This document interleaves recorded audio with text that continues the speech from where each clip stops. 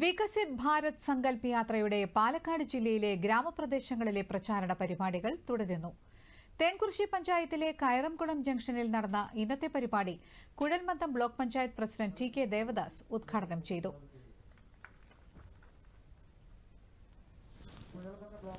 വിവിധ സർക്കാർ പദ്ധതികളുടെ ഗുണഫലങ്ങൾ താഴെത്തട്ടിലെത്തുന്നതിന് ഇത്തരം പരിപാടികൾ പ്രയോജനപ്പെടണമെന്ന് അദ്ദേഹം പറഞ്ഞു. Thenkurissi panchayat president Bhargavan V R അധ്യക്ഷനായി.